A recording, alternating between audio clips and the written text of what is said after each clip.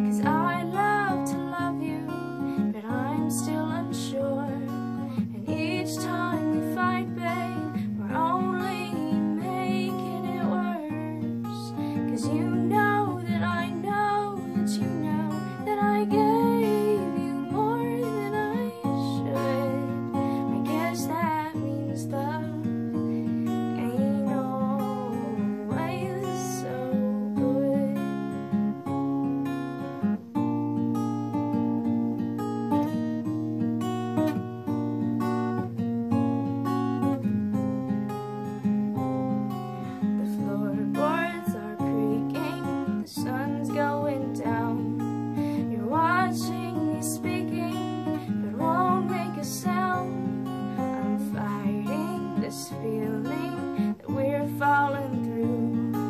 The less that you offer, the more that I lose. So just throw me a bone, and shoulder my pain. Why do we suffer to hide from our shame when it's not like we'll live like this ever again? So come